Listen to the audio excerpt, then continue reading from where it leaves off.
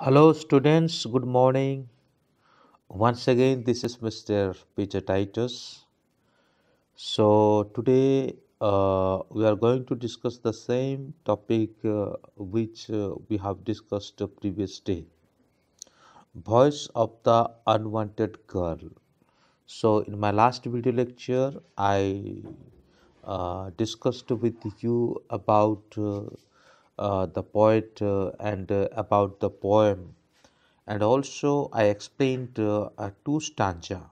Okay, I explained uh, two stanza.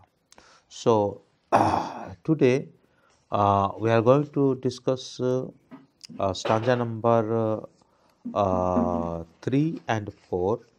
Then uh, after we will discuss about uh, the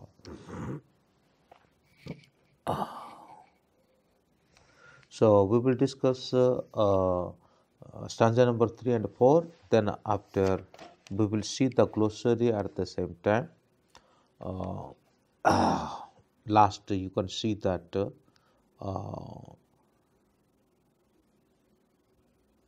glossary and also uh, you may see these activities but uh, we are not going to discuss the activities we will see only uh, the glossary at the same time uh, 3 and 4 stanza number 3 and 4 so you know that uh, sujata bhatt uh, one who is the uh, writer uh, of this uh, poem.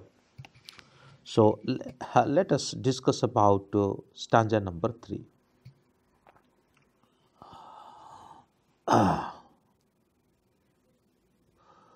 Okay, afterward, everyone smiled. But now I asked you to look for me, mother. Look for me because I won't come to you in your dreams. Look for me, mother. Look, because I won't become a flower. I won't turn into a butterfly, and I am not a part of anyone's song. Look, mother, look for the place where you have sent me. Look for the unspeakable. तो यहाँ पे हम क्या देखते हैं कि अच्छा मैं इसको हिंदी में अनुवाद करने से पहले आपको बस थोड़ा सा एक रिक्वेस्ट करना चाहता हूँ कि अगर अभी तक किसी ने इस चैनल को सब्सक्राइब नहीं किया है तो कृपया करके सब्सक्राइब कर ले और अपने दोस्तों को या अपने क्लासमेट को और जिसको आप जानते हैं, जो, जिसके द्वारा इससे फ़ायदा हो सकता है, उसको आप इस चैनल को फॉरवर्ड कर सकते हैं। बाद में प्रत्येक मुस्कुराया, है ना? After word every one smiled का मतलब ये होता है कि बाद में प्रत्येक मुस्कुराया। But now I asked you to look for me mother किंतु अब मैं आपसे पूछती हूँ, क्या आप मेरी तलाश कर रहे हो, माँ?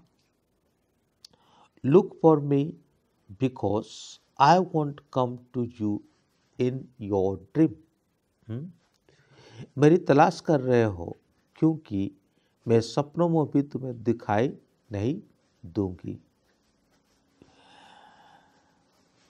I want come to your dream look for me mother look because I want become a flower मेरी तलाश करो माँ।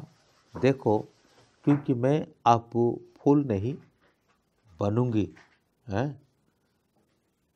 I want turn into a butterfly मैं एक बटरफ्लाई में भी बदल नहीं जाऊँगी। And I am not a part of any one song या तो मैं किसी के एक गाने का एक पार्ट भी नहीं हूँ या नहीं बनूँगी। लुक मदर देखो माँ। Look for the place where you have sent me उस जगह को देखो। हुँ? जिस जगह में आपने मुझे सेंड कर दिया, जिस जगह में आपने मुझे भेज दिया। लुक फॉर द अनस्पिकेबल है? आप उस जगह को देखो जो कहने योग्य नहीं है। उस अथ अकथ्य की तलाश करो जो स्थान को कभी वर्णन नहीं किया जा सकता है। तो यहाँ पे हम क्या देख रहे हैं? यहाँ पे हम उस बात को देख रहे हैं कि किस प्रकार से ये हम इस थाट चांजा का जो ऊपरी भाग में हमने जो देखा, यह किस प्रकार से एक बच्ची जो है, वो कह रही है अपनी माँ को, है? क्या करने के लिए कह रही है कि मुझे तलाश करोगे तो पाओगे नहीं और मैं सपनों में भी नहीं आऊँगी या मैं किसी की गाना नहीं बनूँगी, किसी के गीत की हिस्सा नहीं बनूँगी और या मैं कभी किसी तितली में भी परिवर्तन नहीं होंगी, या मैं कभी किसी फूल भी नहीं बनूँगी। For the place that can never be described look for me mother because this is what you have done हैं? उस स्थान की तलाश करो, जहाँ आपने मुझे भेज दिया है। उस अकथ्य की तलाश करो उस स्थान को कभी वर्णन किया नहीं जा सकता। मेरी तलाश करो माँ, क्योंकि वो है जो आपने किया है। वो है जो आपने किया है। Look for me mother because this is not God's will है? आपने जो किया है यह ईश्वर की इच्छा नहीं है, हैं?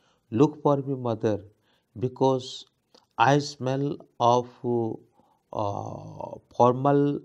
formaldehyde I smell of formaldehyde and still I wish you would look for me mother मेरी तलाश करो माँ, क्योंकि ये ईश्वरीय इच्छा नहीं है। मेरी तलाश करो माँ, क्योंकि मुझे उस रंगहीन, किंतु तेज गंध वाली गैस की गंध आ रही है। मुझे रंगहीन गैस की गंध आ रही है और फिर भी मैं चाहती हूँ कि आप मेरी तलाश करो माँ। यहाँ हम क्या देखते हैं?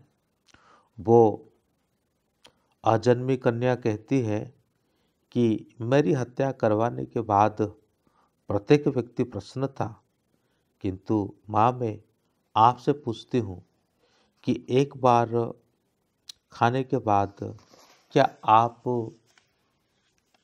मुझे तलाश कर रहे हो? मैं फूल नहीं बन सकती, तितली नहीं बन सकती, क्योंकि किसी के गीत का हिस्सा नहीं बन सकी। माँ, विचार करो, आपने ईश्वरी इच्छा के विरुद्ध मेरी भ्रूण हत्या कराई। यद्यपि आप मुझे परिरक्षक गैस सब परीक्षण कक्षा में काम में आने वाले जो गैस होता है, उसकी गंध आ रही है। किंतु फिर भी आप मेरी तलाश करो। तो यहाँ पे हम देखते हैं कि जिस भ्रूण को हत्या किया गया, है, उस भ्रूण किस प्रकार एक आवाज़ करती है, किस प्रकार वो कहती है कि मेरी तलाश करो। हिस्ट्री तो ऑलरेडी मतलब पोइट के बारे में और पोएम के बारे में हमने थोड़ा बहुत देखा ही था इसलिए उसको ज़्यादा मतलब दिखाने के बोलने का कोई ज़रूरत नहीं है। Voice of the unwanted girl as the little state in the articulation of a victim girl child who questioned that inhumanity and horror of female infanticide um, तो यहाँ पे गर्भ में रहा, बच्चा जो है, बच्ची जो है, किस प्रकार चिल्लाते हुए मतलब क्वेश्चन पूछती है, सवाल पूछती है कि भ्रूण हत्या के ऊपर। The poem taken from Sujata Bhatt anthology my mother's way of wearing a sari written with rare sensitivity and social corner critiques party patriarchy and uh, demands for a world in which gender discrimination are erased. Sujata Bhatt was born in Ahmedabad. She had been called one of the finest poets alive today.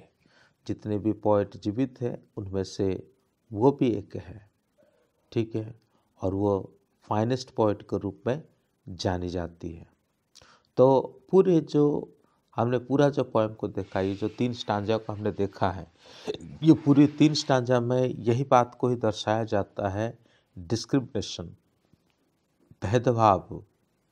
लोग आ, जब बच्चा गर्भ में रहना चालू करता है और तभी जा कर के परीक्षण कर देते हैं और जैसे उनको पता चलता है कि ये एक आ, क्या कह सकते हैं आ, लड़का ना होकर के लड़की होगा तब भ्रूण हत्या करने पर मजबूर हो जाते हैं।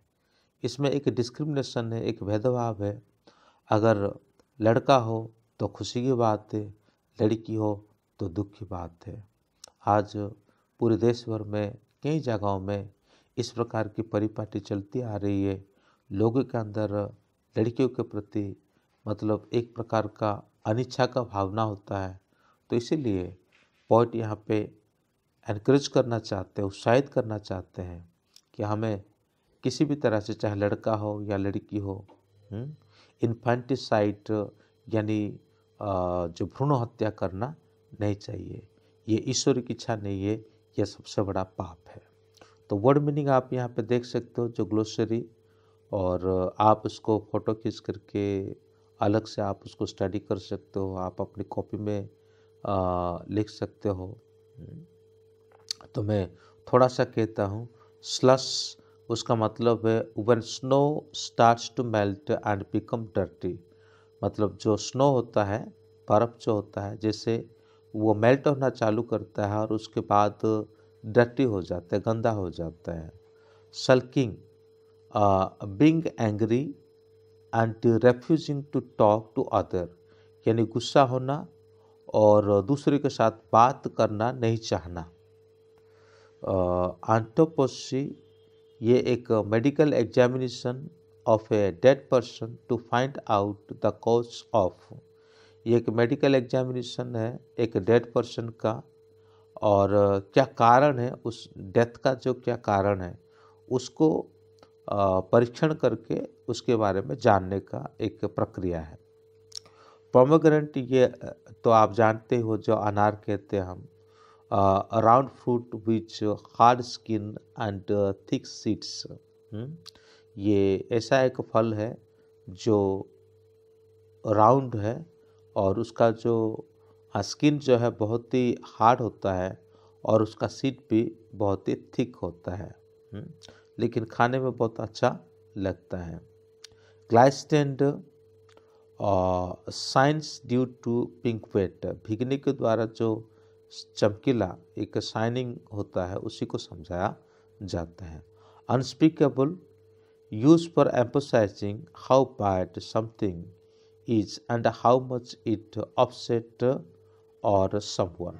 या अनस्किप स्पीकेबल का मतलब ये होता है, कहने योग्य नहीं है। कितने दर्दनाक की बात है, कितने मतलब दर्द की बात है, जो वर्णन नहीं किया जा सकता। फिर उसके बाद हम देखते हैं फॉर्मल डिहाइट ये एक प्रकार की गैस होता है, एक गैस विथ नो कलर, इसका कोई रंग नहीं होता एंड ए स्ट्रॉन्ग स्मेल बड़ा कड़क खुशबू आता है उसमें से। Use by being mixed with water to preserve thing in a laboratory laboratory में जो थिंग्स होता है, उसको प्रजर्व रखने के लिए, उसको बचा के रखने के लिए उसे इस्तेमाल किया जाता है। तो मुझे उम्मीद है कि कल जो है हमने फ़र्स्ट एंड सेकंड स्टांजा को देखा था और आज हमने थर्ड स्टांजा को देख लिया। ये पूरी पोएम में मैंने उसका बैकग्राउंड को भी बताया आपको पोएम का बैकग्राउंड पोइट का बैकग्राउंड फिर पोइट को व्याख्या भी कर दिया, साथ ही साथ हिंदी में अनुवाद कर दिया। यदि भी मेरा हिंदी इतना अच्छा नहीं है फिर भी मैंने कोशिश करा आपको समझाने के लिए। So thank you my God bless you have a good day